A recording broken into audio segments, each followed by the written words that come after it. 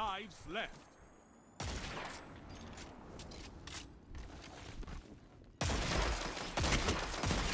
Hunters like you blaze a path for the rest of us. Two for one.